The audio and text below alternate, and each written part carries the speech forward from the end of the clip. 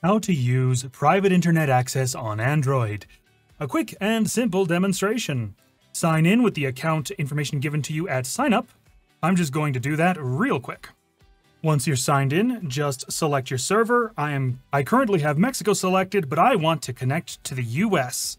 We can just search for it here really quickly and easily. Let's go with Houston.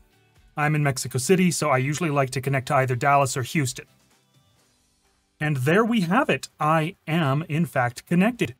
Now, this is supposed to be my actual IP address, so let me just head on over to my browser and check that. As you can see, the IP address is not a Mexican IP address. The country is listed as the United States, and the VPN is so good that, honestly, the website thinks I'm not using a VPN. Which is kind of what you want for privacy reasons.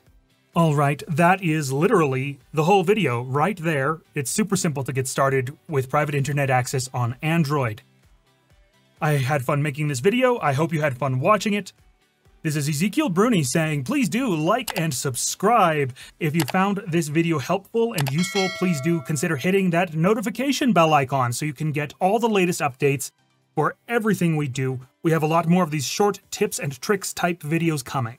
Check the link in the description below for a discount on private internet access, and you can uh, get a hefty discount when you want to pay for up to three years even in advance. It's a great way to save money on your first purchase. There will also be a link down there to the full review of private internet access with all of the tests we've run and all of the services we've tried. It's great. And that's about it. This is me signing off. Have a great one.